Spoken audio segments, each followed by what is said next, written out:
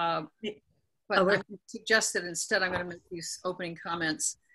Um, but first, is there someone who uh, would like to be the note taker, minute taker, or who's willing to do that? I'm, I'm here, Meg. I'm happy to do that for the group. Okay, You sure? Absolutely. thank you. Anthony. Wow, thank you. Um, I wanted to do that first because so that we capture comments that are made. Um, I'm going to make a few brief comments, uh, which are perfunctory. Uh, there's this uh, Governor Baker on March 12th, 2020, suspended certain provisions of the Open Meeting Law, Chapter 30A, Section 18. Uh, I sent you a link to that in case you're curious, as I was, to see what that meant. Uh, it's basically read, uh, um, redefining quorums. Uh, previously, a quorum could not include people who were participating remotely. Oh. Um, I would like to move the public comment to the end because uh, I've been instructed uh, that this is, if we, I've, I told Angela that we have only in our whole history had public comment once, but um, public comment is where Zoom bombing is most likely to happen. And so it's best to move that to the end. Um, and I wanted to uh, share with everyone and invite um, Holly and Angela to step in if I miss something here. The way the meeting will work is everybody, uh, if you don't, you don't want people to hear your background, you can go up in the corner with the three little dots. I'm gonna, where it says mute, mute yourself, not the three little dots. Um, and uh, I wanted to suggest that if people want to speak, let's hope that we're all noticing who's trying to speak, but that we simply move, you know, raise our hand rather than try to have some, uh, it's not a big enough group to need some technological way of doing that. Hi, Liz. Didn't Hi. here. Um, did that cover it, Angela? Meg, the only other thing we've been doing, I don't know whether we have to for the commission, is the chair has called out each person's name to make sure they can hear and be heard. So it's a, okay. So I'll do that. And the, the meeting has started, just so we're, and we're recording this and it'll be available. The uh, many people in the public who might want to watch it. So John Fensky, Here, I can hear you fine. great. John McCabe, Well, we unmute. don't hear you. You're muted. But you hear us? Yep. Great. Um, Liz Larson, Here and can hear. great. Holly I'm, Bowser, I'm here and can hear you all. and Kat, I'm going in the order in which you appear on my uh, gallery. Kathy, Hear and can hear. John, Paige. Ooh, Oh, We can't hear you. you were sounded a little bit cro- croaky. Can you hear me? Really, uh, There's something odd with your audio. it's like a distortion. Let me see. Bummer. Are you using the computer audio, John? Headphones. Ooh, Hmm. now we don't hear you at all. So, Hmm. Any suggestions of what we Well, should? a couple times, sometimes it's worked, he just rejoins and make sure he chooses computer audio. Other times, someone like Athena, who's not on right now, has magically solved the problem. And I'm never, I'm never quite sure what, what was done. But we, we've had this more than once, that one person's mic is not working. They can hear us, but we can't hear them. Angela, do you have any suggestions? So some people, the workaround would be to try and rejoin and see if that fixes the problem. But if not, they're able to use the video from the computer, but then they dial into the meeting on their cell phone. And those instructions for dial in so that you can hear the meeting are on the agenda. Um, I don't think they're on this agenda, Meg. You They're, no, they're in the invitation. I didn't, Okay. didn't, I hadn't received that when I, I didn't realize to put, that was a good idea. So Kathy, that was a great idea to check everybody's uh, video and audio. Um, so uh, I would like to review the agenda and particularly because it's a pretty packed agenda. Let's wait. Are we for going to wait for John? Just what I was just was just halfway through. Yeah, I said, but let's wait for John. How's that? Is that better? Oh, Try and go, um, are, are you using earbuds, John? Try and go no earbuds. Try and go just, do you have a microphone on your computer?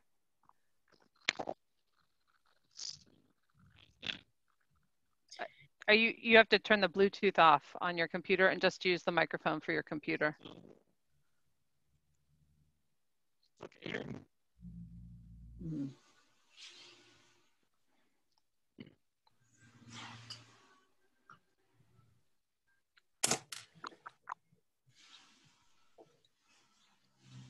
Maybe try the phone.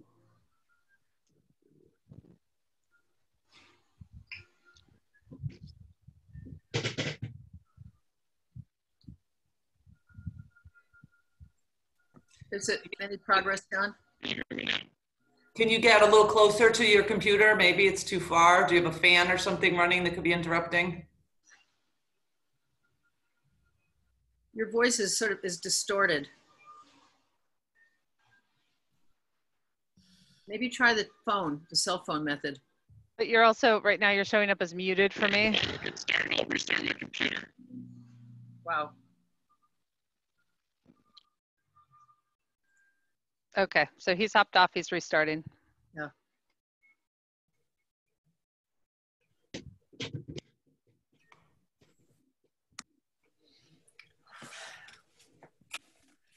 Dang, I wish I could turn the air conditioner on.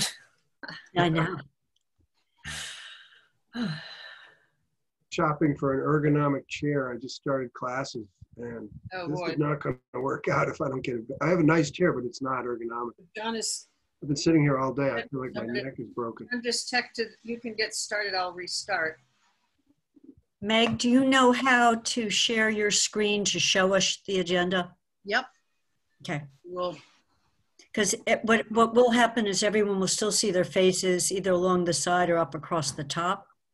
yeah, I, um, Cool option. uh, I didn't, I sent it again this morning, but I'm happy to share it. All right. Whoops, the wrong thing up there, just a second. Um, stop share. Yeah, I have it right here. Let's see.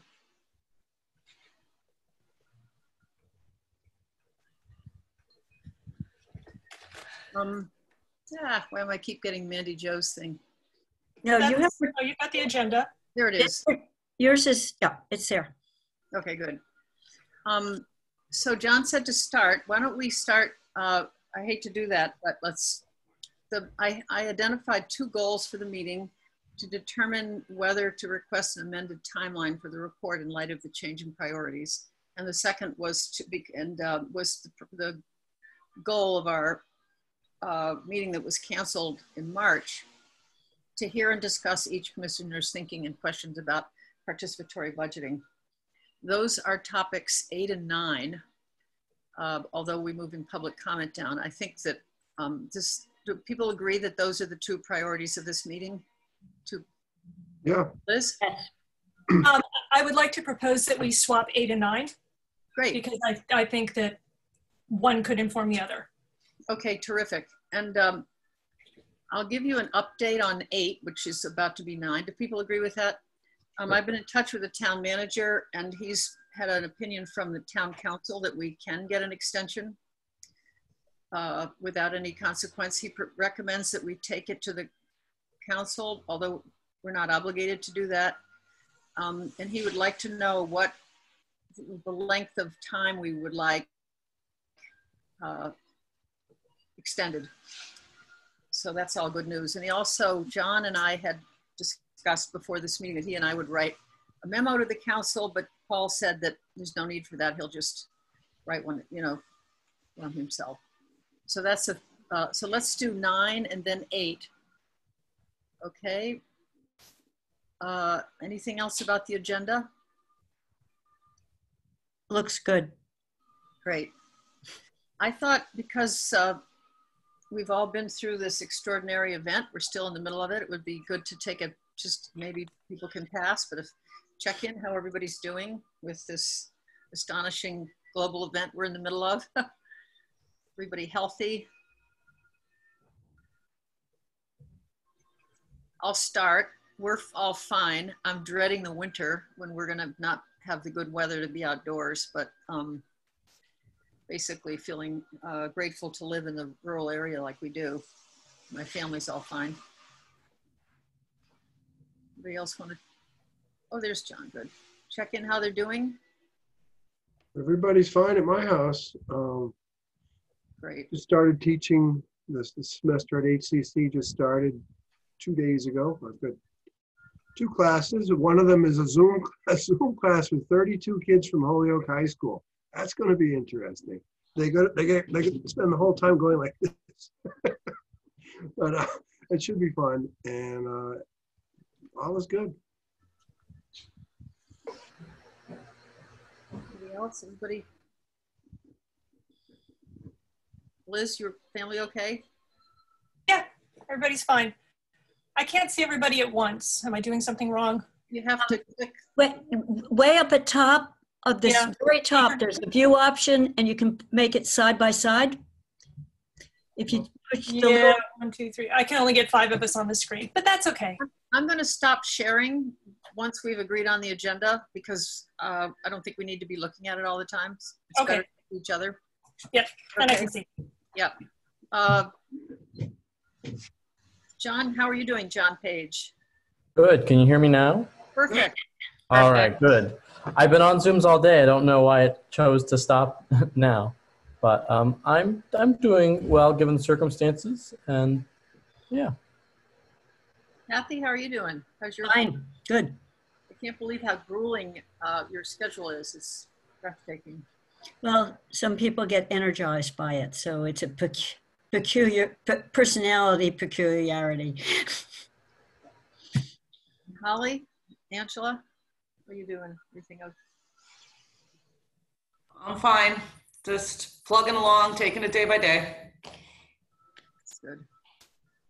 Um, I'm doing great. Thank you for asking. Great. So I'm going to stop. Let's see. I'm going to uh, let's. Well, I'm going to stop the sharing so that we can um, uh, see each other more clearly. Has everybody got a good look at the agenda? I can bring it back up whenever we want to, but we're going to first talk about share each of our thinking and questions about this number nine that I'm sort of circling my cursor around, and then we'll do 10, which is discussing what people said. We can do that as one. And then we'll go to eight for request and extension and uh, schedule our next steps. Liz is raising her hand. Uh, we need to approve the minutes first. Yeah, I was just gonna do that. I'm gonna, Okay, I'm just about to approve, go to the minutes. I wanted to stop sharing so we can see each other when you're raising our hand, because otherwise we have to keep scrolling. Okay, great. If you need the uh, agenda again, I can share it again, or I could even, we all have it. So let's approve the minutes and bravo to John for astonishing five pages of minutes for, our- from our February 27th meeting. Any comments, any changes? Um, I only wanted to say they were excellent, and I had no changes on them at all.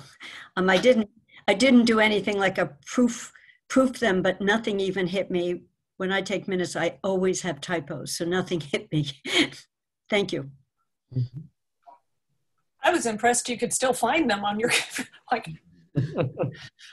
Well, I luckily I found them. I I do have one comment to make, and I'm not sure that it's even really that important, but in the last paragraph on page two, the second sentence says CPAC proposals can come from any nonprofit organization. I don't think it's necessarily limited to nonprofit organizations. Most of the people who have applied in the past have all been nonprofit organizations or the town itself, but I don't think that that's necessarily, if that's to say those are the only people that can apply, it should maybe say typically CPA proposals come from nonprofit organizations. Okay, shall we make that change without objection? Yeah, and I think it's a good one if we take nonprofit out because it clearly sometimes CPA is coming directly from the town government too. So it's a public entity. So just organize from, I guess it says any organization. Organization, yeah. Yeah. John, do you have the uh, energy to make that edit? Yes, I think if I just remove nonprofit, does that fix it? Fix Yep. the sentence? Fine. Yep. Yep. I could do it myself too, but thank you. Since Any other comments? That was all I had. Um, I want to point out that we had a plan for two meetings in a row, uh, which were uh, uh, March 12th and March 26th. And we had planned, I'm not saying we should do this, but I'm just want to point out that we had a quite a helpful discussion, I thought, about planning two meetings ahead.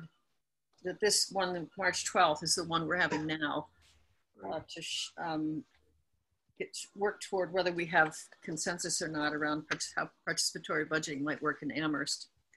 And then our, then in February, our idea was that the following meeting, we would focus on outreach. Uh, and I, um, with the community participation officers, and I want to, I'm starring that in my copy of the notes to say I think that's, the timing for that is not our next meeting. but that's related to whether we help, whether we agree to uh, look for an extension and how long it would be. Okay, all in favor of the minutes as amended? Aye. Aye. Aye. Okay, It, it would be really helpful if we could do a roll call vote. I'm sorry, Meg. okay, that's okay. Very good. Uh, John Fensky, I'm going to go in the order I see you. John Fensky? I'm Saying aye. He's waving his hand. Meg Gage, yes, aye. John McCabe? Yep, aye. Liz Larson? Aye. Holly Bowser? Aye. Kathy Shain? Aye. John Page? I, Okay, thank you. Minutes approved as amended. So um, we're going to, uh, we're, uh, had intended to all be prepared to speak uh, in five minutes or less about our thoughts on participatory budgeting. Um, I suggest that we go around and everybody does that and that we only take really true clarifying questions like when you said this, did you mean this or did you mean that? Uh, rather than have a discussion after each one so that um, we discuss them as a whole. Does that make sense as a process?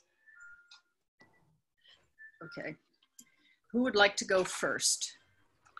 John, to, I happen to, fi- I just, I happened to find the legal pad that I wrote something down on in March uh, for the meeting that got canceled. Um, And I'm glad I found it because I didn't remember what I was thinking. So what I have here, I'll just read it. It says, realistically, I, this is just my opinion, of course, my humble opinion. Realistically, there is probably little chance of getting a percentage budget set aside for PB, given the commitment by the town, which I'm not even sure about at this point with regard to the four capital projects. I don't know how COVID affects that. Um, But could participatory, could PB be a useful process for the town in a period of fiscal stress? And I think it probably really could be. One possibility would be to seek seed money that could be leveraged via a combination of academic partnerships with UMass and Amherst and maybe the other colleges. Um, and maybe have them help us as well seek grant funds. But I know Meg that that that was one of your things over the years, right? At Proteus, you're you're very familiar with all that. Um, and to pursue uh, pursue PB as a way to meet small scale local needs beyond the four major projects and promote community participation. That's what I wrote down. great. Any clarifying questions? I'm, I'm not going to call on people if people want to volunteer. Who, anyone would like to go next?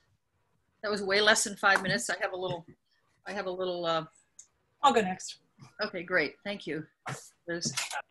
Okay, so I'm, I have my notes here. I'm not ignoring you. Um, so before all of this hit, I was kind of leaning in one direction, and I think even more I'm leaning in the same direction.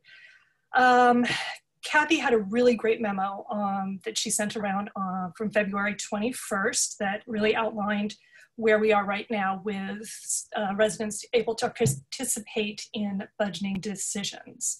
And after reading that and looking over and thinking, um, I don't think that participatory, participatory budgeting is viable for Amherst at this time. Not to say that it won't be something to do in the future. Um, the reason I think this, I think Kathy really laid out really well in the memo. Uh, we already have three ways that residents have access to participating in budget decisions. They are not well utilized at the moment. I think um, those could probably be better um, promoted to the community and perhaps we get more participation. Um, I guess one thing that I'm particularly concerned about is currently there's no staff support for the existing um, programs such uh, under the uh, capital projects and, and CPAC and all of those. There's no staff support from the town. By adding another uh, something that needs staff support, but we don't have the ability to provide for that, uh, I think stretches our very limited financial and human resources. Um, I think instead what we should do is focus on incorporating many of the really wonderful ideas and takeaways that we've gotten from our conversations with other communities, and we should incorporate these into the existing programs. One thing that definitely would need to be addressed is finding a way to make the final decision, um, uh, the final provision to give the residents um, this final say over the funding. Right now, there are both the town council and the town manager have final say or can veto things. And I think we would need to find a way to make sure there is a portion of the funds that the residents have the final say over.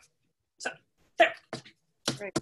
Any clarifying questions? Oh, oh yes, and also I think that this is something that would be revisited. I would suggest that it would be revisited uh, in three to five years. Anyone want to volunteer to go next? Thank you, Liz. Thank you, Kathy. Just unmuting. I'm going to build on what Liz said because to get ready for today, I went back and read what I wrote. And I think I had written something else, but unlike Jonathan and Liz, I can't find it. So I just wrote it again. So um, just one point at the beginning, I thought it was really useful when we did the interviews with towns and read about what they'd done to look at what were, I thought, some key elements that where it was succeeding and operational. Um, that most of them, with one exception, had a sufficient budget that they could set aside some money and just say, this is the money. Um, and they made it clear it was a one time expense, that it wouldn't be operating budget. They had a plan on how to outreach and publicize. They had staff support to flesh out the proposal so that you didn't have a one sentence proposal from someone that couldn't be costed. They set up a process where you could vote, whether it was district specific or wider, and there was staff support for that. So, given the size of Amherst and how much our staff, we have an example here in, in, Angela. Angela has, I don't know how many different hats she wears and different titles. Um, we stretch staff already with a lot of um, different functions. I don't think it's viable now to set up a new process, but I do think we can build on what we have. So, where Liz was saying we have three possible funding routes. Um, and the actions I was thinking that could be taken would be keep the proposal period open longer, better outreach to neighborhood groups, perhaps through the district council or, or, or community participation to encourage proposals, some kind of a template with staff support, or even I started thinking we have some volunteer residents who are really good at this and say, here's your idea, let's flush it out and work on it to turn it into a coherent paragraph um, and maybe get at least uh, in theory commitment that some amount of the dollars in the joint capital planning process and or CPA to extent their viable proposals would go toward this. So whether it's something like $50,000, but a, a, good faith effort to say these get priority. Um, so I thought building on what we have would be really good. And I do think um, the point Liz made, um, we have to check le le legally. I'm not sure we can actually require a portion without some kind of a bylaw, because even the council has this funny oh, I, it's the wrong word. Um, JCPC, the Capital Planning Group, where I chair, we make a recommendation to the town manager and he comes back to the council with a budget, with or without our complete recommendation. It is listening, it's interactive. The council can cut, but not reallocate. So, so we have these limits in the charter. So if we actually wanted to say 50,000 each year or up to 50,000 each year would, unless there are no proposals, I'm not sure how we would do that. We might need a bylaw, we might need something. So, so that's where I'm going to stop. That I came out with that I think we could, we've got opportunities to make what we have better. And uh, one person on CPAC has opened up a Facebook page, and there's been a subcommittee to talk about how can we get outreach because there's money to be spent, and they don't always have um, excess proposals. You know, as boy, we can only fund 10 and we only get nine, you know, so we'd like to get them up. So he, I think if we ever wanted to have that person come and talk with us, he could talk about whatever ideas they've had on outreach, you know, how could they solicit, make it clear that this is a townwide, although it has to be in the categories that CPAC can fund. That's the end of mine. Um, I have one clarifying question. I apologize. At the beginning, you said you went back and looked at your notes, and then you referred to uh, a group that I could I didn't hear. You were reporting on what recommendations was it CPAC made at the beginning of your remarks. Um, no, I just said the memo I wrote at the beginning. Uh-huh. And then, and then my view of when we went through all the different towns Okay. and cities was, and we had a, a meeting, I think, where we talked about what were some of the key elements of success that seemed to be important to these. So this, this list of, you know, the budget, the outreach, the staff support didn't just come from my head. It was also, it was we talked about that each of them seemed to have that in some way. Um, some started with foundation support clearly, but then they embedded it in the town and the town staffing. Thank you. Any other clarifying questions? One, Kathy, did I mishear? I thought in the beginning you said there, there were three vehicles. Yeah. And I Right, oh, the third, I didn't, and the third What's is other one? the, the third one is the community development block grant. Oh, I yeah, can right. read. No, so, you know, for CPAC, you know, each has what can it be used for? Resident capital proposal can only be used for capital. So it's one time an investment. Hmm. CPAC has open space slash conservation, which has recreation in it, community housing, historic.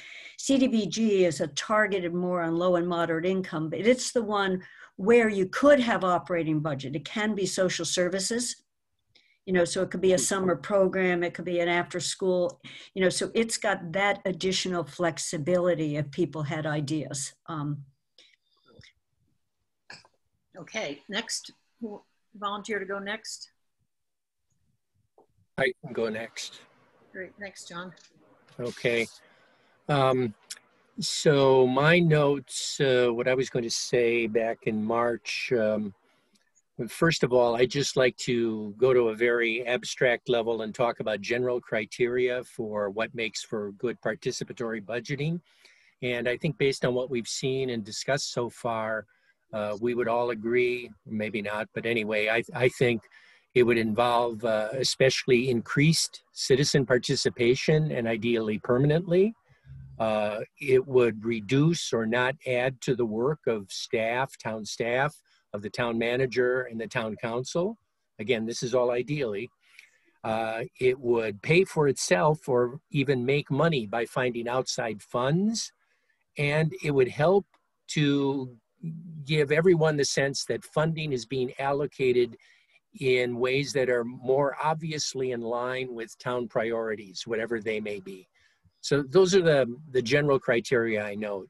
And what we've seen so far, um, and I may be uh, misrepresenting this or being unfair, but I, I, get the sense that we're talking in most of the examples we've looked at, uh, we've, we've seen towns putting aside a pot of money that is used as a lure, a kind of a bait to stimulate citizen participation engagement.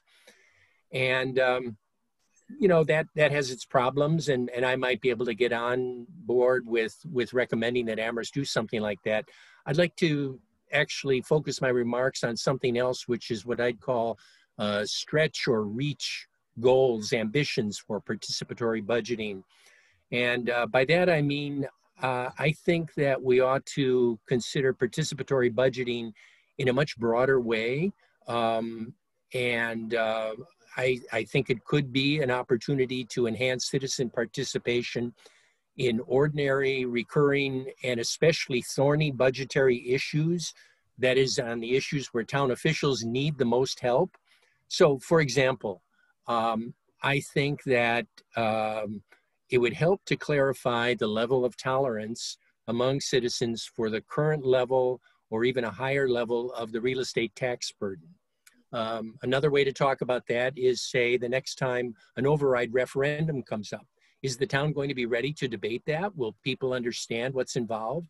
You know, could participatory budgeting help people to be prepared for this crunch time when we talk about do we really uh, accept the current real estate burden and on top of that are we willing to engage in an override a referendum um, there's a, on a much smaller scale there's the hot potato issue of uh, town council compensation um, I am, from what I can understand, we spend around $70,000 to compensate the town councilors and the uh, president um, and uh, personally, I find it a huge bargain. I see them working like crazy all the time. And I think it might make sense to consider an increase in that compensation. And yet, I think of it as a hot potato that is the kind of thing the town council and the town manager are probably not that well equipped to address. And how could participation by citizens help people to understand the pros and cons of a small amount, a token amount, versus something that's more substantial uh, in order to have a, uh, a town council that is adequately compensated. Um, there are other things along these lines. Um, you know, I've, I've been to meetings where uh, people have brought up, uh, I've seen firefighters present who've said, look, we haven't been adequately funded for years and years. And more recently, um, it's come to people's attention. There are a lot of folks in town who are uh, interested in looking closely at the police department budget. Um, you know, are we adequate? Are, are the citizens of Amherst, do they have enough information readily available? And do they have ways to think about this that are uh, structured and helpfully? Um, I, I, I don't know. I'm just asking all of you to think about participatory budgeting in a more ambitious way that would engage the citizenry in ways that would um, be helpful to the people who have to make these, these thorny decisions. Uh, and finally, just a couple of points. Uh, I think it might be useful if uh, budgeting discussions could standardize and regularize uh, what I might call helpful public budgeting math. I'm thinking of things like price tags for significant items being put in uh, and maybe this is done. I've seen numbers like this on, on the budget sheets, but it might be helpful to highlight um, price tags as a percent of operating or capital budget, or to see price tags that show the impact on the tax rate or the median or typical taxpayer bill. And then uh, finally, there are possibly uh, specific and useful benchmarking uh, that can be done for how budgeting is done. I'm thinking of best practices elsewhere, uh, and especially uh, since I've seen it come up so many times, how do we count students when we're talking about per capita things? I mean, it's not really obvious to me that you can take one number or the other, the number of, of residents without the students or the num all the residents including the students. Anyway, that's, I, I spent a lot of time on what I call these stretch reach things, which are maybe you know, beyond what others are interested in, but I, I would like to see participatory budgeting try to tackle or include those items too. Thank you. Great. Uh, clarifying questions? Sure. Okay. Um, I, I, just, I have one, but then I'll build on it later. I think these were incredibly uh, thought stimulating ideas. So if, is part of what you're thinking is that um, providing enough information that people could participate in a discussion about thorny issues and whoever the decision makers would be could get public feedback having given them enough information You know, so I heard things like, poli- you know, like on the one hand, on the other. Um, so it's it's it's trying to get package, you know, like police and fire. You know, what are the issues? What do we have? Right. How does it look? You know, we'd have to get, and then you could have the larger conversation, right? Yeah. Well, there's that, and I mean, um, at a uh, finer grain level, you might, you know, ideally, you would hope for something amounting to continuous polling. I mean, we're getting all kinds of polling now about the presidential election. So, you know, I happen to know uh, where North Carolina stands and so forth and so on. It would be useful in town, I think, if you and the other councilors and the town manager had a sense of where people stood on thorny budgetary issues uh, in, a, in a rather continuous fashion instead of episodic and driven by people's interest in the topic or or the um, what I like the self-identified particip- uh, participants in town discussions. Um, you know, it, it comes to a head when you have a referendum or, for that matter, a town council election, I suppose. But I I don't know exactly what this would amount to, but I'm saying that to my mind, participatory budgeting ideally ought to be about citizens being well informed and being continuously polled. There we go. Thank you. Okay, any more clarifying questions for John? No, I just, I just speak in support of John's idea. And you mentioned, and I really wasn't paying close attention, so I might have it all wrong. But uh, when there, when the defunding of the police uh, issue came up, I heard Scott Livingstone say, sure, you want to have that conversation? Let's have that conversation. And I don't think that, I, I, it seemed like it didn't happen. One, a group with a very sort of extreme version of police defunding got their thing out there and the council was forced to vote it down. It could have, I, I heard Scott saying, sure, let's talk about what priorities police should be fo- focused on and, and what, you know, mental health and other things that might possibly be handled better some other way. And it seemed like we never got a chance to have the conversation. So let's uh, pin that for our discussion after uh, we go Okay. through. So we have uh, Holly, John, and myself. Uh, Shall I go next? Or Holly, do you want to go next or John? Doesn't matter to me. You're not obligated to say anything if you're not, don't want to. Sh- I can go next. Okay, great. Um, I've been, I think this conversation is transitioning to what are our next steps, and I've been a little bit conflicted because participatory budgeting might be just one of the things that we need right now when there's unrest. Um, people feel like they're disconnected from the democratic process. Um, and also, we've seen, at least through work with downtown businesses, um, micro grants can be helpful. And even if it's small amounts, those little projects and little things can make a difference. So while that makes me lean into we should keep working on this in a formal participatory budgeting process, I think politically and financially it's just not feasible at this time. Um, we're asking, you know, the town manager and then town council to make really tough decisions about who and what to cut, and then they're going to have to find a space for this. Right now, it just doesn't seem realistic. However, I do like the idea, which we've talked about since the beginning, of can we increase the participation in resident capital requests, CPA, CDBG, and really the whole budget process. So we could continue this. I think we need to ask for an extension. Um, how much of an extension, I'm not quite sure. And I think we can resume a conversation about um, a formal participatory budgeting process later, a key element of which will have to be private funds, whether from the schools or fundraising or what. Um, but I think that conversation we're going to have to put on hold for at least a year. Any clarifying questions? So shall I go next, Holly, or do you want to go next? It doesn't matter either way. Well, I'll go next, so I'm not last. You can be the last. Um, I wrote mine out so that I would be sure I didn't go over five minutes, and it's actually under four minutes. And this is what I wrote before, so the dates are all off, but I didn't want to rewrite it because we don't, we haven't had the conversation about timing. My thinking, so I apologize for reading it, but anyway.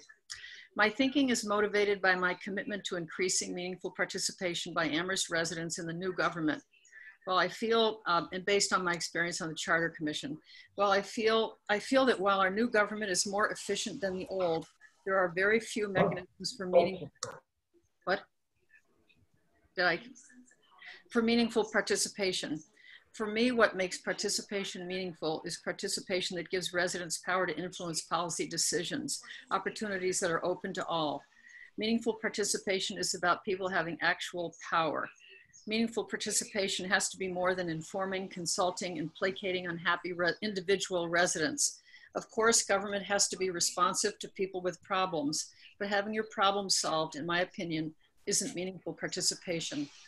And recently on the council, I'll just say this in as nice a way as I can, not Kathy at all, but there have been council members who appeared to dismiss public input.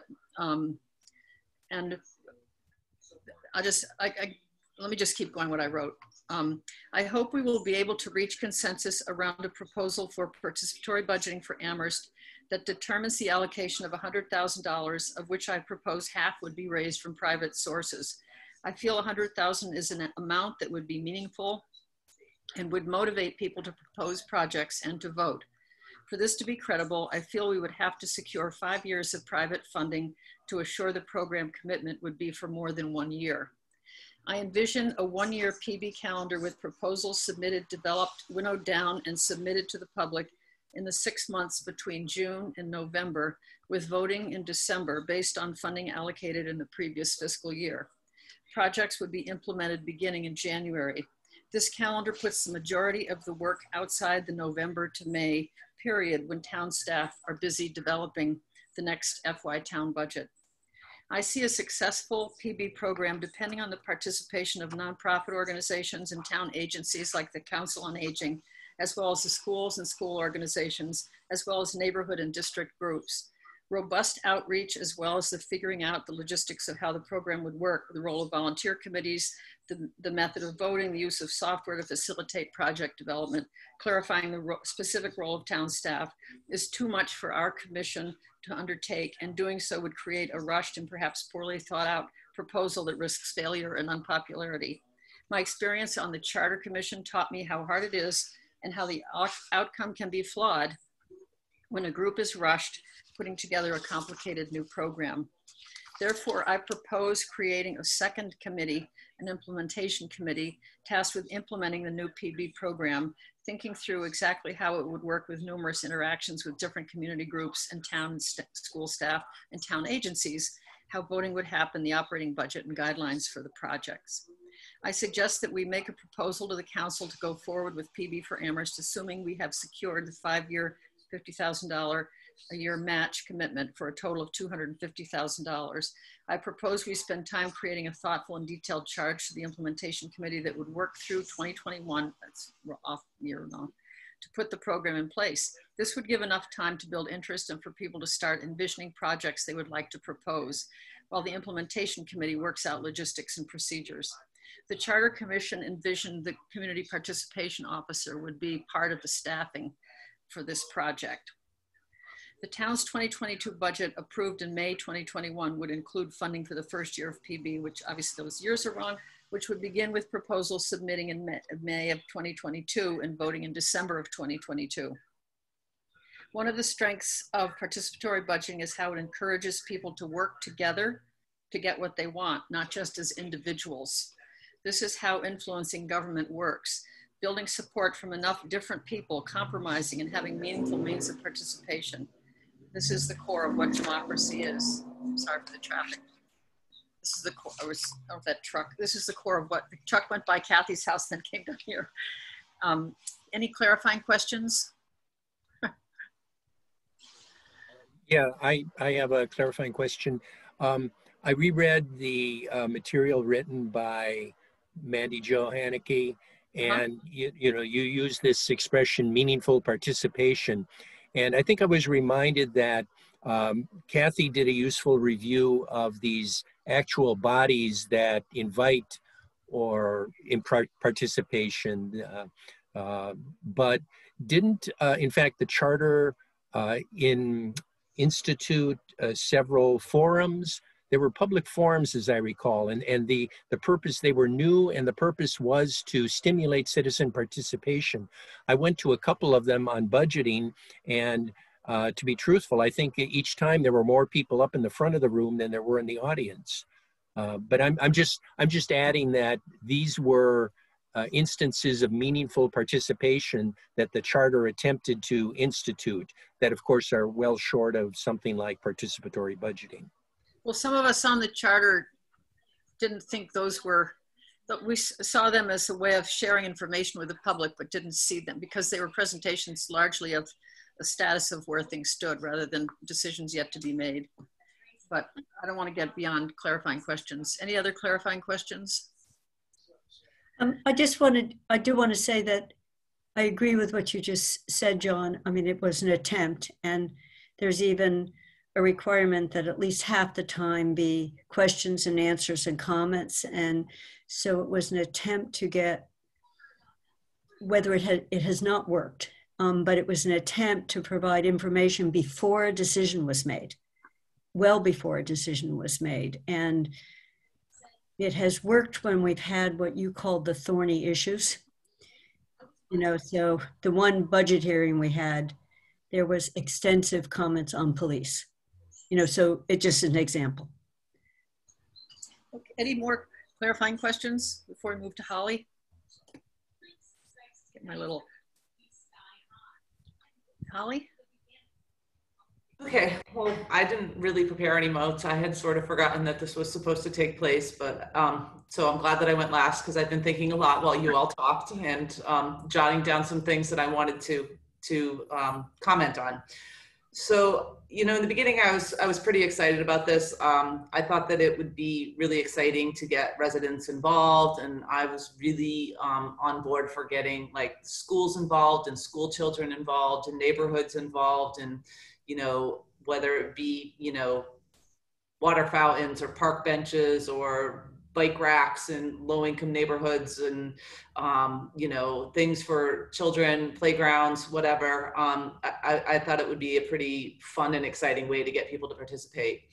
Um, i am just really sort of starting to see that and throughout this whole process when we saw some of the you know other um, municipalities that were doing it they were so organized. They were so on top of it. It was so much participation, um, resources, time, energy, you know, media. Um, I just, with everything that's going on right now, I'm starting to sort of see that I, I I'm not sure that this is the right time for it, um, especially right now when things are going to be probably financially unstable in the next year or two.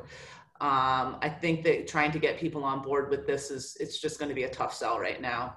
Um, like uh, many of you mentioned, I think Liz and Kathy, um, you know, staff time, um, resources, um, unless we had somebody who could really be dedicated to this and could really push on this, I'm just not sure that right now this is the right time. Um, I do think we have some good programs that are in place and that are definitely underutilized. Um, the CPA, the CDBG, the JCPC, um, and I was thinking about the budget forums as well, and you know that that is something that is fairly new, and certainly um, people are showing up, but I don't think enough people are showing up. Um, we now, with the councilors, have district meetings, which we never had before, where the councilors are going out and having, you know, little town meetings in their districts. And I have not participated in any of those, but I'm curious as to what the participation is in those types of things. So I think, um, and again, in my own opinion, um, I think that what we really sort of need to do is to focus on the things that we have in place right now and try to find out how we can continue um, to enhance those and get them to be utilized in a, in a better way to get more people involved. You know, if we had the money right now, I would be a lot more excited to work on this. Um, but especially with, you know, everything that's going on in the last six months, I'm just really not sure right now how we should proceed um, and, and where, where we should go. Okay, any clarifying questions for Holly? um, this uh, invites a discussion, which we won't have now, of how long of a, well, maybe we don't want any extension. We're just going to fold the towel, but let's, I'm not going to, I hope that doesn't happen. Throw in Meg, you had on the agenda, the next thing would be talk around the ideas we just heard. That's what I'm saying. That's Oh, what- okay. I What we're going to do now is talk about the ideas Okay, we just heard, and I have a suggestion for doing that in a ration, you know, so everybody participates. I'm saying it, it, it begs the question of timing, but I, we're not going to discuss that until afterwards. But obviously, different people's remarks had implications for different lengths of a of a uh, extension or no extension at all. But I'm hoping we're going to go for the extension and not. Um, but so let's keep that in mind that we're also thinking about our next agenda topic, which is uh, how long an extension are we going to request? So why don't we uh, take turns commenting on what we heard, um, and then uh, see if we can identify two or three areas where we have agreement. Uh, or maybe it's also important where we absolutely don't have agreement. Um, obviously, it's a hard time now and very uh, difficult to know how to how to uh, interpret and, uh, the fact that we're in the middle of a global crisis that has a direct effect on this project that we're working on. Um, so let's take turns commenting on what we heard and asking each other questions if we want to. And this doesn't mean speeches, uh, but working if we can toward places where we agree and perhaps clarifying where we don't agree as a process of group kind of reaching some, I hopefully. guess I'll start that by, just off by saying it seemed like several people were of a similar mind that we have some processes in place and maybe we should focus on improving those processes versus putting new and totally different processes into place. So I'm going to just pull that as a topic.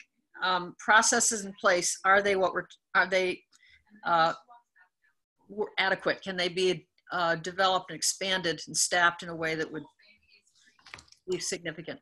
John Pensky, it's, it's helpful. Uh, yeah, I was, I was thinking, right, I was, I was thinking of um, uh, Holly's remarks, uh, which make me think that one possible model for continuing an extension or a um, a new version of this uh, commission would be to uh, work on the last thing she said, that is to try to bring together, enhance, um, bring regularity and uh, clarity to existing opportunities and processes on the one hand.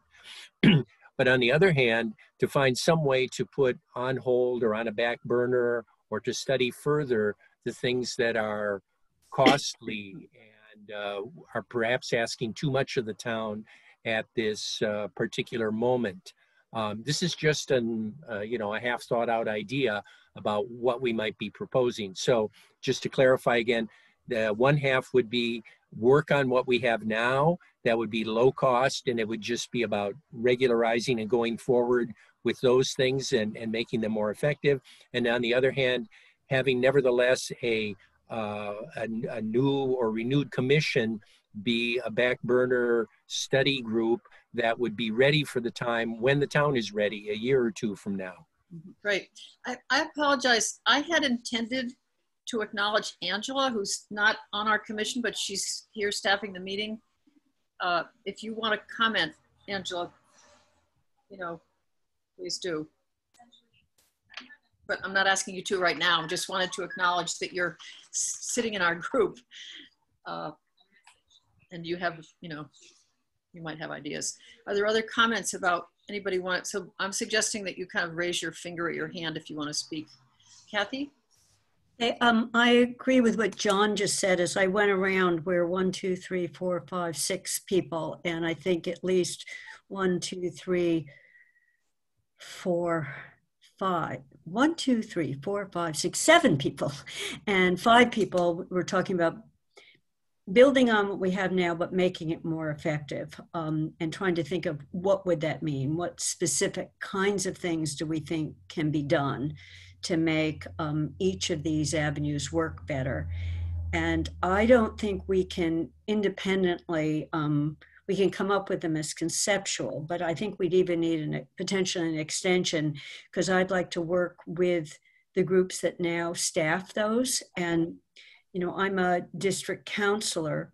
So certainly if it was right, if I knew right now is the open period for resident proposals or for CPAC proposals, I would invite someone to a district meeting. We'd we'd publicize it. We'd explain how you apply, what it looks like. So we kind of try to drum it up, you know. Um, and and John Page talking about um, the really micro grants. They were small that made a difference.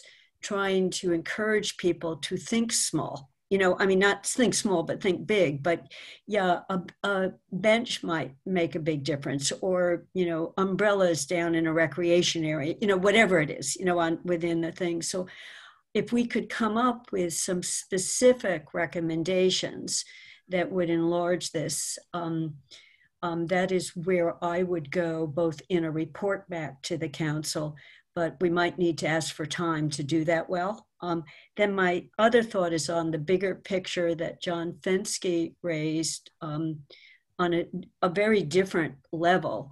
Um, we have, and I'll just be very controversial with this in terms of not in this room necessarily, we have four big building projects.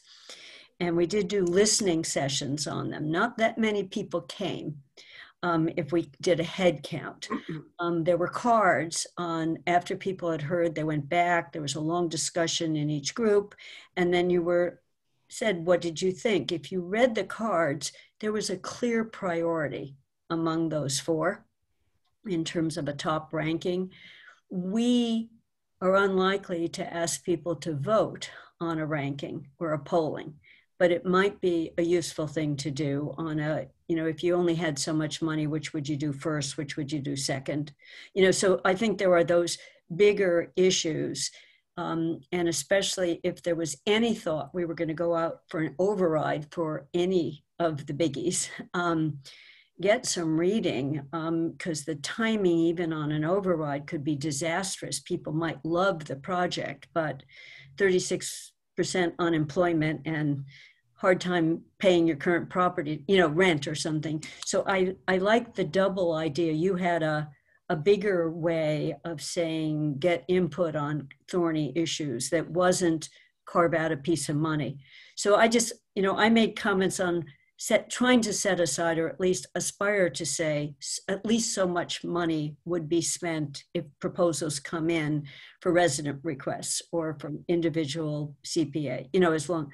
So that's where I heard a lot of people saying that, and then this blending of ideas of micro. How do we make it clear it can be really small um, and what it can go for? Um, I'll just make a call myself. Um, I want to draw attention to one area of of not consensus. Maybe there's more than one, uh, and I may be the only one who feels this way. That meaningful participation happens when people believe and and have a role in decision making. And um, I think that's partly why we don't have high turnout at our at our forums, and because uh, people aren't confident that. If, I, so I'll just say that that I think participating in decision making is what's been important to me. I think I may be the only one who feels that way, but uh, which is what voting does. And organ, organizing people together to campaign for things that they want and building public support for it in a visible way uh, seems to me important part of what participatory democracy is all about. And especially with the charter of the new government, it's really uh, questionable if we can ever get people to participate with if they're making suggestions to another body that has the authority to just ignore them. I'm gonna, you know, we'll try to work toward consensus here. Uh, and I just want to say one thing, Meg, um, because on the police issue that was brought up on the budget, um, there was a response that, um, and we did hear from lots of people. As yet, there hasn't been a what's the action, but we actually froze two positions in the police department, potentially for spending on something else, a different kind of person. And it's just beginning now a conversation on what do we really want to do? What are the issues? And I think that's actually quite remarkable. And um, if we can, if we can make it happen, you know, with first listening to the groups that we're talking. And for me, it was evidence that hearing from 50 people um, and then hearing from them in a first one meeting, then another meeting, then another meeting, um, there is a response to an issue that clearly started nationally and then came down here that might have us rethink the way we what we call community safety. Um, mm-hmm. and how you foster that i don't know. You know this came from outside in but how you support it. So there's an effort for going out to the groups that are formed to embed it's been embedded in town goals policy goals with instructions so the manager's goals so it it, it shows up as something that wasn't even on the horizon um, eight months ago. So it's clear that people raising their voices can make a difference, as difficult it is as it is. But we don't know how many people don't want to defund the police. but anyway, but uh, Liz? So I, just to build on what Kathy was saying, I think that that the police funding demonstrates that with the proper outreach to the community to uh, to um, solicit feedback from the community on what what the what the priorities are things the town council is influenced and can be influenced and it can make a difference and it's trying to figure out how we harness the energy out there and to get more people to engage the way that the young people were engaging in the you know um, police funding questions um, that's what we need to do. It will work. It just to date we haven't been able to find that kind of energy around around too many issues other than the police funding so far. Okay, other uh, comments? So I'm hearing of a lot of people, maybe I'm the only one who doesn't feel this way, uh, feel that we should focus on strengthening the programs we have by increasing the ways people can make suggestions. We wouldn't change who decides, but we would try to make the processes more robust for how people propose things. And that the work, the work for that would, would be, uh, I'm not sure who would staff it, but this would be something that we would figure out going forward. Uh, um, I'll just say I was one of a large number of people who made who wrote letters to the council about the planning board process, the letters that were dismissed as testimonials, even though my letter was not a testimonial at all. It was a letter about why we want diverse opinions on our committees. Uh, so I'm just, I'm a little bit cynical from that experience, but um, who had their hand? Kathy? You know, one thing you just quickly said, um, even though they'd have no voice about it, we don't have to set it up that way. If we say we'd like to make an effort to carve out 50,000 if out of the capital budget, 50 out of CPA, bet a bunch of ideas come in, we could uh, say, and then have people vote on them, you know, ha- have people rank them, you know. So I'm not saying that there would be no, you know, if people come up with some ideas and there's only so much money, we could we could definitely make that part of it i mean each of these entities has an official body you know so cpa has a decision making body that brings their proposals but they probably if they had 10 small ideas that added up to 50,000 and didn't want to parse make their own prioritization. You know so i think so that's where i said i'm not i don't have details right now but i think we could think through ways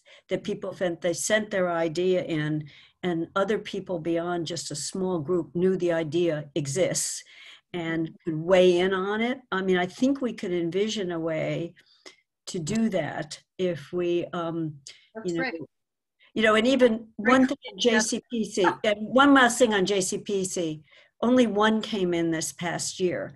but there was an effort, if more had come in, to make them all the same day. So we could even broadcast that this is the day those proposals will be talked about, and we want people to send us letters to do whatever if they, if- you know.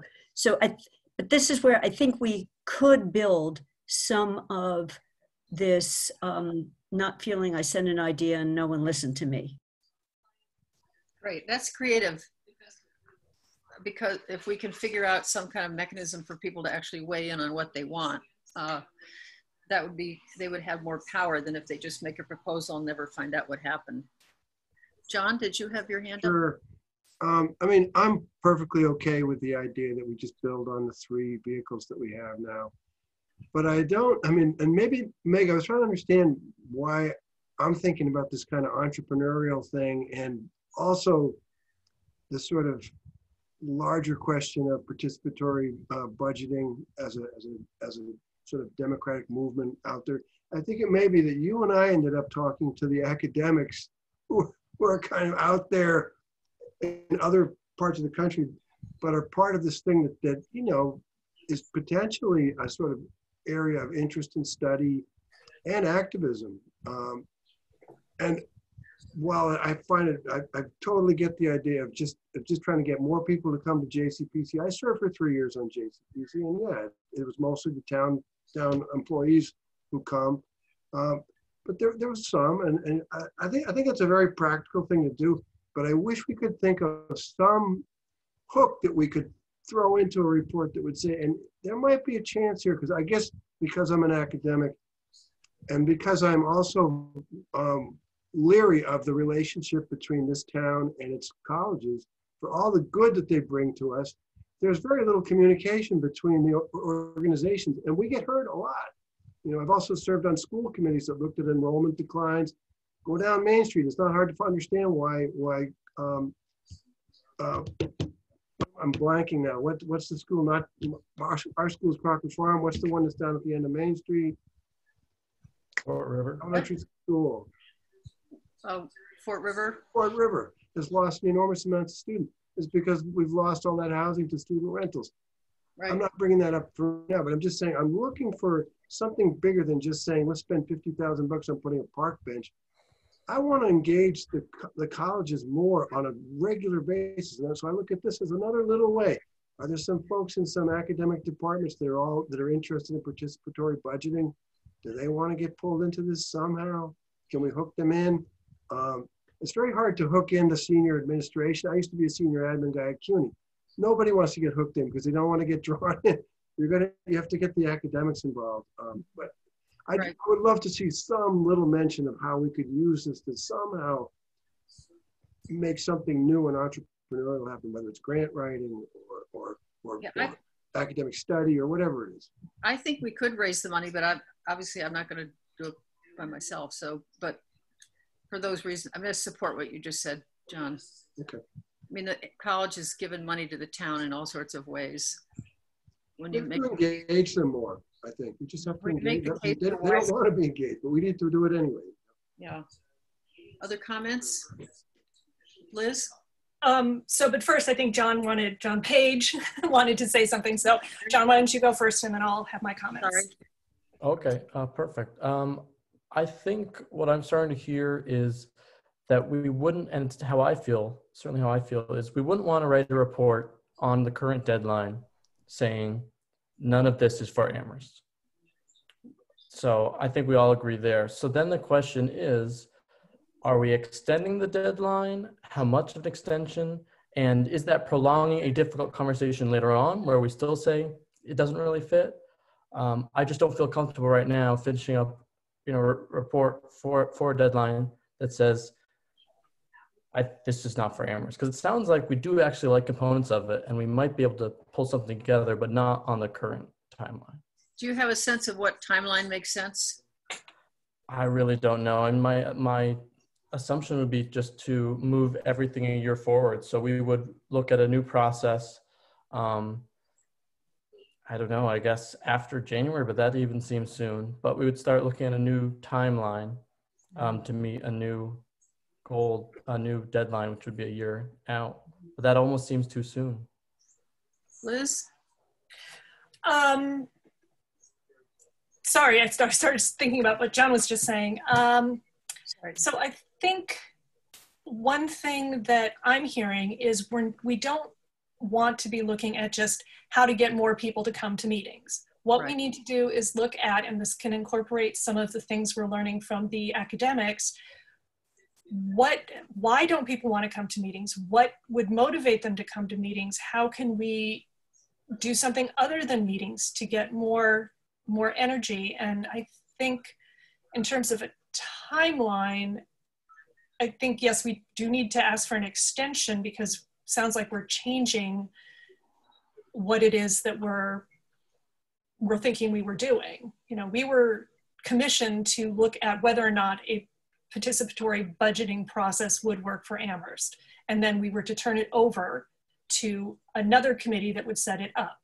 But it sounds like we are now looking at whether it would work, if it could work in a modified way, and how that modified way would incorporate what we already have. And so therefore, yes, we would need at least six, maybe nine months, maybe even a year. Honestly, I don't want to, I joined this because I told Paul Bockelman it's like it's done in January. or, you know, it's done in December. So I don't Another really want to kick this out another year if we can avoid that. But You just had a big break, so. uh, yeah, well, Um, are there other comments about the substance of what we've been talking about? I'm sure people have a lot more to say. Um, I'm observing that we are moving toward consensus. Kathy? I was just going to try to summarize. Do you want to say something? Go I ahead. just want to say something. Um, um, I don't always, I sometimes express myself somewhat better in writing. I'm clearer because I have to get my thoughts together. But I wasn't um, in John Page saying, no, we thought about it and it's not going to work.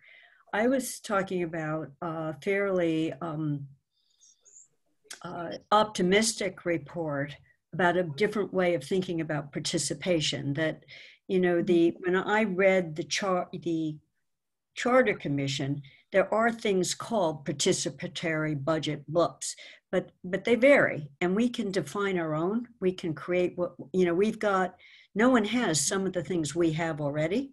Um, so I I meant something that would be we're coming back with this as our participatory way of doing with these details. And I could see a part A is building on what we have, but making it work you know, where people have more of a voice, there is money spent. And B would be a bigger vision. Um, and what that might be, I don't know what that might be, you know, and then you could say, see maybe three years down the road, we come back and revisit, can we carve out, can we do something that looks more formally, um, the coalition that calls them PBCs. Um, but I think we could define who we are because we are our own group. We're not the Massachusetts legislature saying this is what it is and this is the only, you know, so I think I wasn't talking about we did our work and we said we can't do it. I was saying we did our work and we're coming back with a different take on all of this. Um, but I don't think it can be written by December. Right. so I'm just hearing consensus that um, we, I'll, maybe, maybe I'm wrong here, but I'm tested, test for consensus. And that was really helpful what you just said, Kathy. Um, that we're thinking of focusing on existing systems, making them more robust with a bigger vision. And I, I hope carving out some part of it where people could actually weigh in on what they want. The, the suggestion Kathy made the previous time she spoke. Um, I would totally get behind that. Um, I'm just, I've become quite cynical about participation where people don't have uh, agency, but I may be the only one. John? Uh, yeah, since we're talking about existing systems and processes, could we revisit maybe with Angela's help or Holly's help um, or anybody who knows the role and the existing role and the potential role for the community participation officers? I mean, presumably, I think we've been just assuming without getting very specific that they would play some ongoing role in whatever we successfully set up, whatever we call participatory budgeting. And I'd be curious to talk a bit more again about what they do now already and what they might do in some future vision. One of the, I'm going to ask, invite Angela to respond to that. One of the hard things about the way the charter had to be written is you, you were, had to just write sort of the spare legal terms rather than saying, you know, this citizen participation officer will be created. And our thinking is that if, you know, you can't do participatory budgeting without some staff, you know, you can't, we couldn't add all those words. But I think Paul Bockelman has done an extremely creative thing of dividing the position among three people. Uh, Angela, do you want Well, to? also, excuse me, just one more clarification. So there's participate, we're focusing on participation in the budget. I guess one simple question is what other kinds of participation are there? What do, what do they see Right. as part of their mandate beyond budgets? Do you feel like responding to that? What are the various things that you and uh, Brianna and um, Jennifer. Jennifer got? Right. So Uh, just as a quick snippet, um, I, and I want to give everyone a heads up that I actually have to staff a five o'clock Board of Health meeting and it's 447. So um, just in, in, a, in a really quick snippet, um, I have spent most of the day scheduling Zoom interviews for people that we are appointing to the Disability Access Advisory Committee. And also, we just wrapped up interviews this week and next for the Affordable Housing Trust Board of Trustees.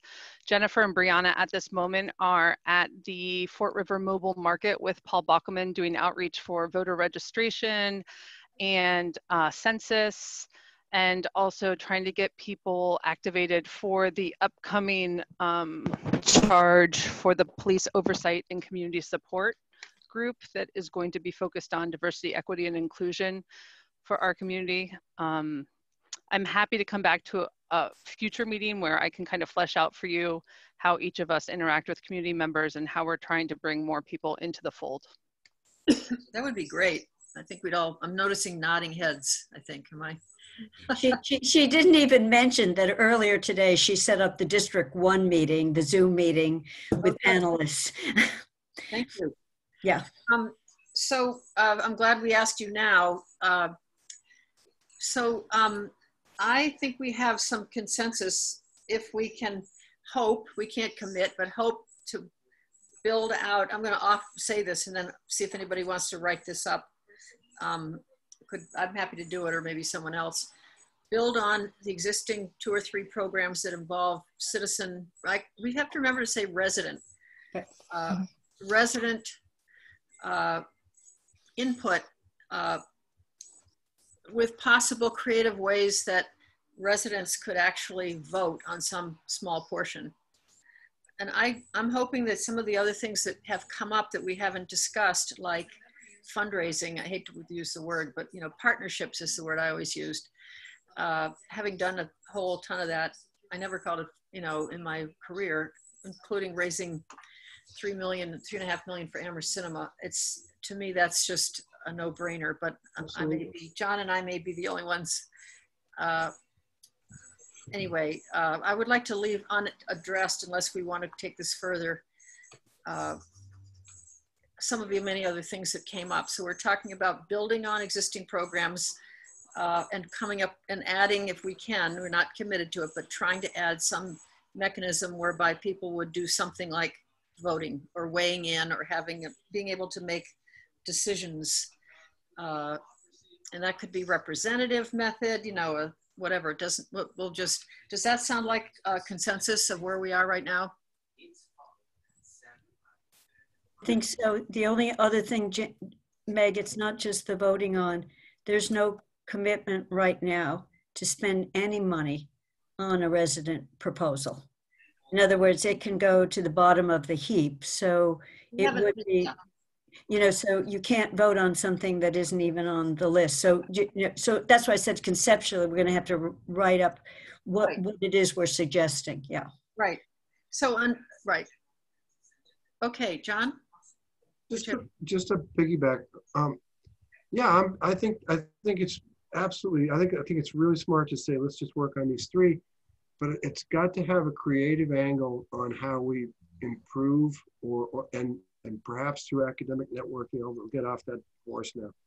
Um, otherwise, it's very easy for the, for the process the way it's working now to just folks say, that sounds great. And then they basically just go back to the way it works, which works fine if you're, if you're, you know, from public works or the police department or fire or what, but, but there has to be, I, I really would like to advocate doing that because it's practical, but making sure that there's some kind of, if you pardon the expression, some kind of sexy hook about citizen participation and how this is a movement that's much bigger than just Amherst and put and, and little tiny projects. Even if it's just theoretical, just to try to get people to think that we could be part of something that's that's bigger and more interesting. Mm-hmm. Liz? So on the assumption that Angela's going to have to get off in nine minutes to go do her other meeting, um, and I'm sorry to do this, Kathy, but I would like to nominate Kathy to write up a proposal for our next a draft because you said it so well and then you said that you write even better and so i was hoping if you could take what you said and write it and i can't imagine it being better but um, but i know you have a lot of things to do so i apologize for nominating you but i just think you really had encapsulated and, and captured a lot of what we were saying and also able to bring some of the issues as a town councilor some of the things that we would need to clarify as a committee what it is that we would be proposing. I'd be willing, I, I actually have this thing on my notes, but I would expand this and bring it back with like topic sentences and bullets underneath it, you know, rather than trying to write, you know, maybe two sentences under a few so it explains it and mm. call it very, very rough draft. You know, so you know so i've got i've just added co- what i call the part b part of it which is the bigger think you know and what might that be um, so we could write it with that conceptually so uh, so is our next meeting in two weeks Well, we're going to talk about that next. We haven't. So, that. Meg, if I can just interrupt for a minute, since we are recording to the cloud, I can finish and shape up these minutes from the recording to the cloud. Is there anyone on this call who owns a Zoom license who I can now make the host of this? Because if I make that person who owns a Zoom license a host, then I can hop off and it won't interrupt your I mean, meeting. just a Zoom account? I Yeah. have, I have a Zoom host license, but John does too, right? Perfect. Perfect. So Me- I'm going to make you the host, Meg, and then I can hop off and it won't interrupt the meeting. And I will firm up the minutes from the cloud recording, which will be Thank sent you. to me. Thank you so much for Sure. doing. up in the corner you're the host meg you just meg is host a little blue light came on that's cute Came on. And Yeah. I promise to come back at a later date and, and flesh out for you kind of where CPOs are and, and how our rules have changed during the pandemic. Great. Thank you, Angela. Sure. Thank you so much. And um, also, I want to don't want to let it slip by that Kathy just agreed to help us in a huge way, and to thank you, uh, taking up Liz's request to write Sorry, the. Kathy.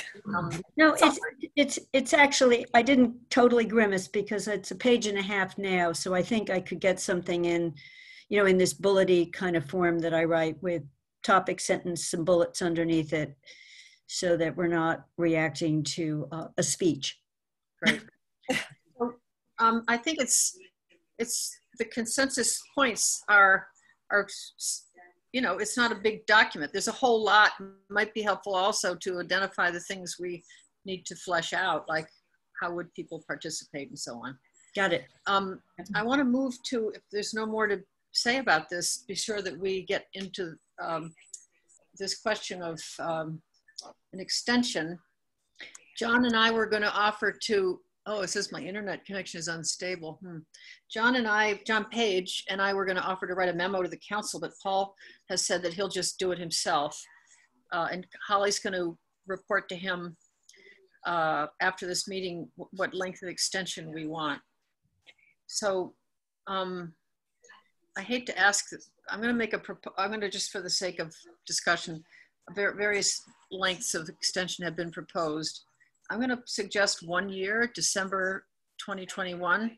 Doesn't mean we have to meet all that time, but it, it means we, even if we took four months off to wait and see what happens with this pandemic, it makes it possible for us to be dealing with this at a different time. Um, and it also, uh, I don't know, I just think that this isn't, this, before some people got on, we were all sharing how we're feeling. I'm, I, I'm dreading the winter. Uh, I just can't see this thing ending anytime soon. So with that in mind, I'm thinking a year. Comments or other suggestions? Kathy? I'd feel better with six months. I don't disagree with why a year. And it's in part to put some time pressure on us. It's um, to get a report. And if we had, I mean, there have been a few suggestions to say, and a follow up could be, you know, so if you, you, a couple of you wanted to do fundraising, meet with the academic community, we could, we could say more to come, but it's not the commission. So I just think time pressure is useful. Um, but that's a personal, I worked with a slave driver of a boss for years and she set impos, she set impossible deadlines and then would give us a week or two reprieve, but we did more than we ever thought we could because we had a deadline that was tight rather than loose. But my thinking is not just how much hard we want to work, but this question of how long this pandemic's going to be uh, creating a huge question mark over everything. But let's hear what other people think. We got six months, we got a year. Do I hear nine months? Yeah, I'd, I'd be willing to do either, but, um, but maybe I, I, I do, I, I do agree with you, Meg, that in this really unstable time, and let's, not even get into what might happen a- on November the fourth after the election. Yeah, uh, You might just have to, but I don't want to meet, I don't want to meet, you know, constantly for a year. Um, no. but there's a, there's a lot that could happen in the next, in the next year. Uh, I'll, I'll go with six months, or if we set a year, just to, to see what else is going on in the world, um, but have a, have a lighter meetings, a significantly lighter meeting schedule. Once a month, say?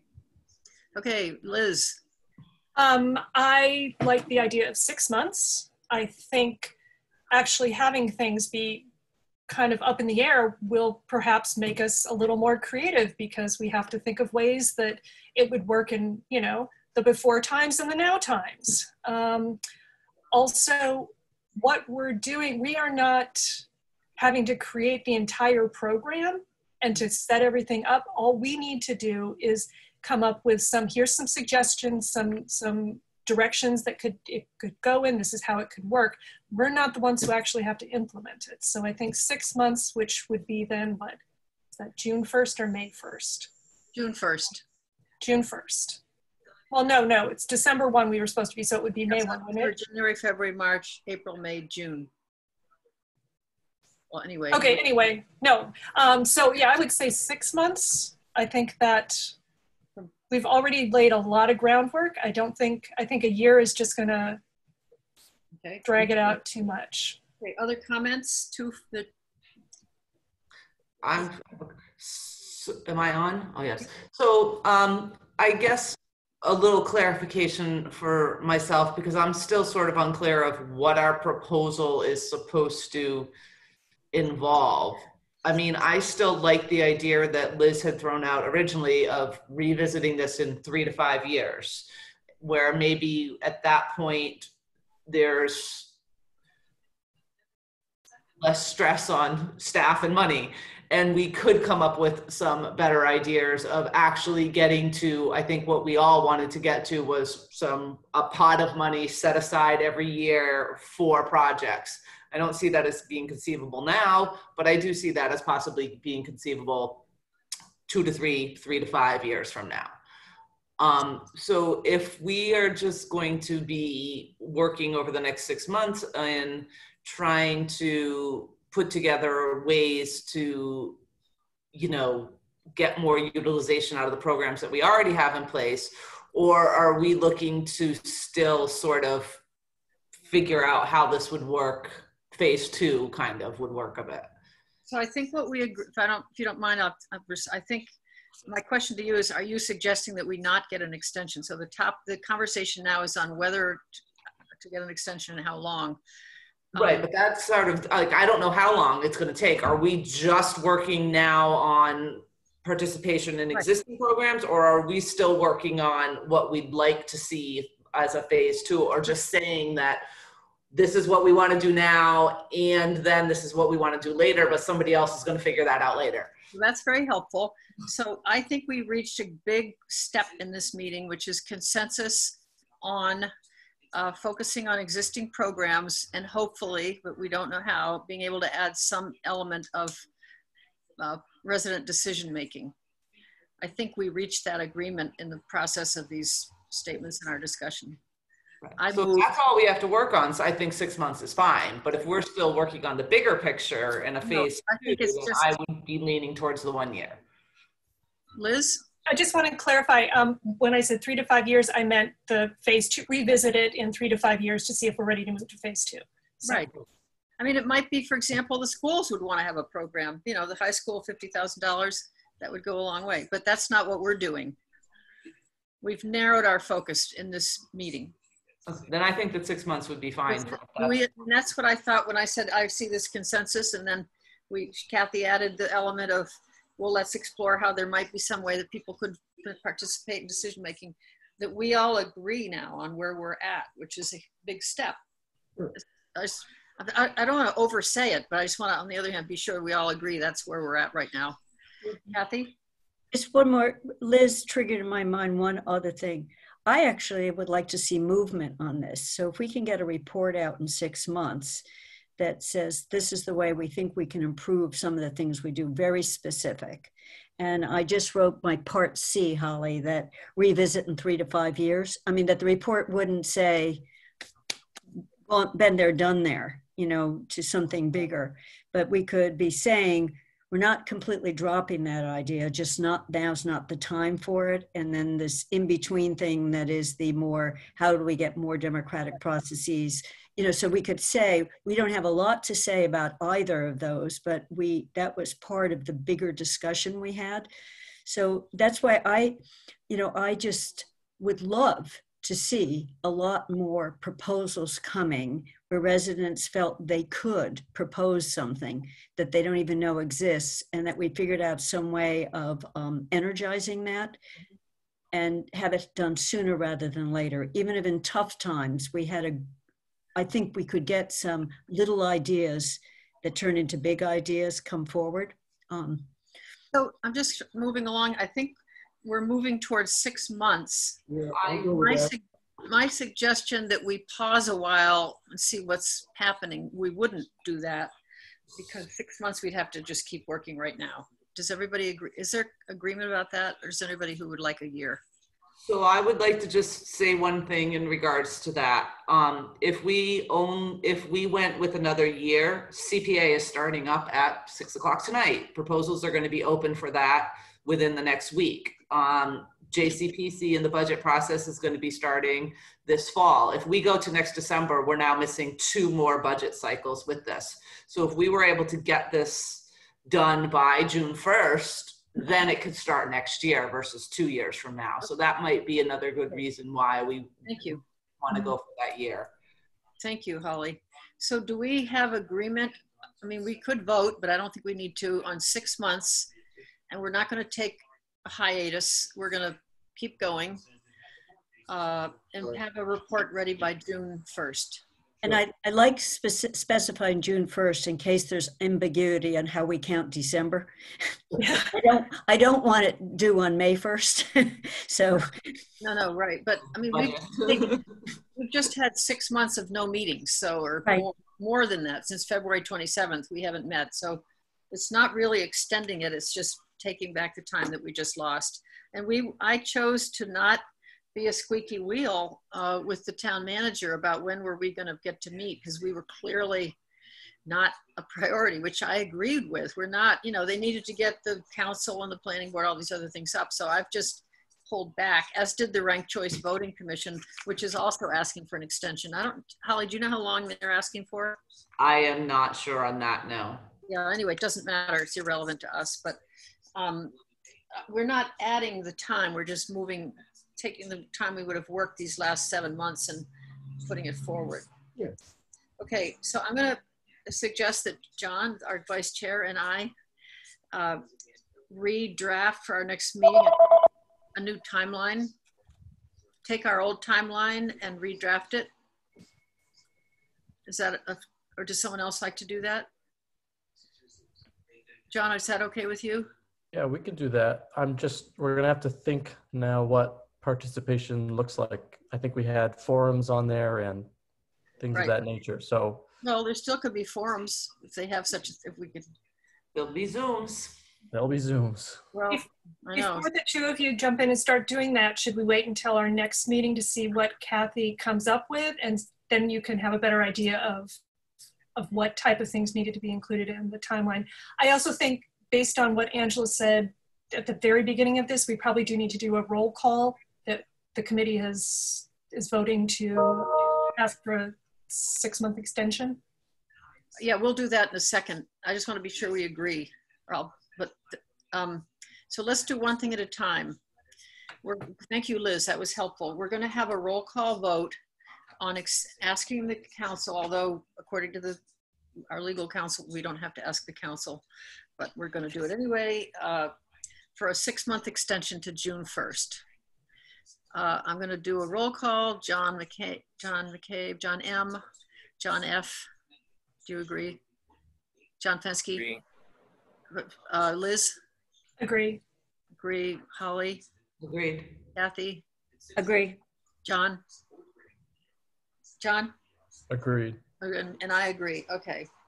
Actually, we, do we have somebody taking notes after Angela left? Angela said she would listen to the Look at the recording and recording. complete the notes, so.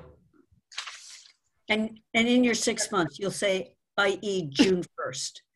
June first. Yeah. My Um, suggestion of John, uh, I think Kathy's not going to come up with anything that she didn't say. Are you, Kathy? Is- You're summarizing where, what we've agreed and what you, s- No, I'm, I'm, I was going to write the shell, what Liz suggested is write a shell of a report that were some topical sentences with some ideas underneath it. Um, Right. And I'm just looking at, today's the 10th. I think when you had sent things out, you had the next meeting as the 24th. Um, it would be a little bit better for me. And, and do, Holly, do you know whether CPAC is meeting every other week? I believe we are right now. Because the, it would be better for me not to have it on the 24th also, but I can. Right, so I was just gonna say it would be better to not meet again until the first at three thirty for me. If we can keep the three thirty, because that gives me more time. Um, and, and it, On Yes. Thursday? Thursday, is October 1st a Thursday? Yeah, I'm just looking, on my calendar it is, but, yeah, I am in, 20 I'm in twenty twenty also. That isn't always true when I just flash forward. I am, yeah, so, Do we want to pencil off every other, just we get them blocked every other Thursday at 3:30?